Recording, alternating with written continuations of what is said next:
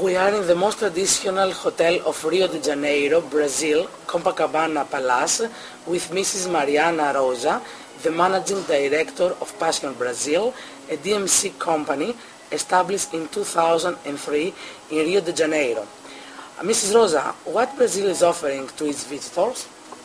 Brazil is a melting pot country with a mix of different landscapes. So here people can find very nice beaches from the south to the north, and then they can also find uh, nature like Amazon forest, or also nature with many animals like Pantanal, or the biggest uh, waterfalls in the world, Foz do Iguaçu, or also some uh, UNESCO patrimonies like historic and cultural places in Salvador, Minas Gerais, Paraty. So, and also city breaks. I know that the Greek clients, they like that. So the main city for Greeks, for example, it's Rio de Janeiro. It's a city with mountains and beach and forest and uh, sports. So you can see different uh, places in one country. Mrs. Rosa, what differentiates your company from the other DMCs in Brazil? I think the main difference uh, is that uh, we are part of a holding with four other agencies and we have a common back office department with around 80 people. So uh, we have very strong power of negotiation, uh, negotiation, negotiate for the whole group with all the hotels and suppliers. We are the main clients of many hotels in Brazil and we also have a very good IT department and human resources and marketing, all the back office. Uh, it's uh, even the financial department. It's very strong and it's big. And on the other hand, for the clients, we have a very a staff who gives personalized assistance to all clients. Even, even me, I'm very accessible. I give my personal mobile to all the clients. I meet them every year. I go there. I receive, I go to their countries. I receive them in Brazil. I meet them. I al- I'm always open 24 hours to solve any problem, so they can easily reach me, and the, even the, the staff is very accessible and at the client's disposal. Okay, what Brazil is offering to these clients, to the visitors of the country?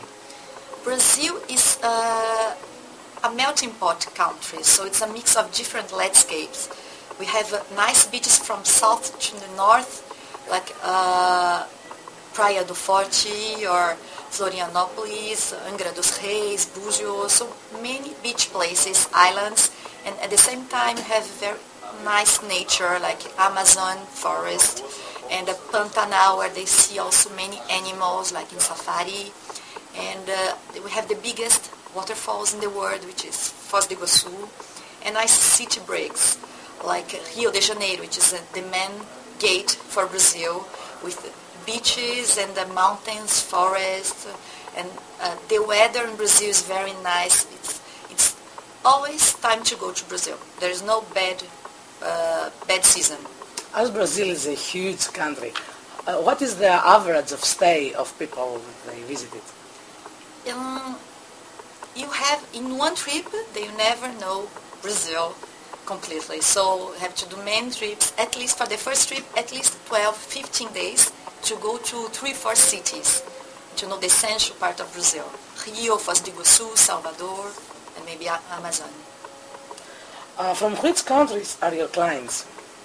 They are mainly from France or French-speaking countries like Canada, uh, North Africa, or Belgium.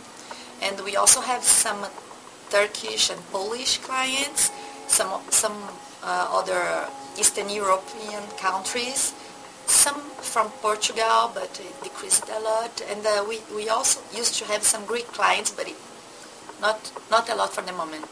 Oh, so what about the Greek and Cypriot market? Mm, from, from Cyprus, actually it's something new for me because I just met two uh, travel agents from this country that I didn't know it has that potential and they have potential for Brazil, especially for honeymooners. And from the Greek market, it used to be very important market to Brazil. But since the crisis, it decreased. Even some of our clients, I know they bankrupted. So there are new agencies, there are new clients potential to Brazil, even for incentive or for FIT uh, up level to Brazil.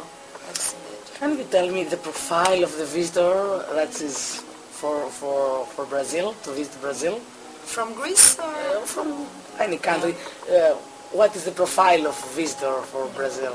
There it depends on the country. There are different profiles. There are many people who are retired, like uh, uh, like uh, in their 50s, 60s.